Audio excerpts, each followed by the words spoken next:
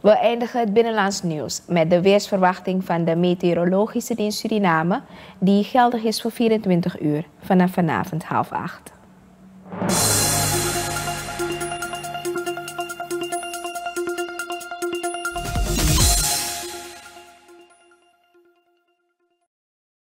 Tegen het einde van de nacht kan er plaatselijk nevel of mist ontstaan, vooral in bosrijke gebieden. Morgen, 14 november, worden vanaf de middag tot in de vooravond plaatselijk lichte tot matige onweersbuien verwacht, zowel in delen van het kustgebied als in het binnenland.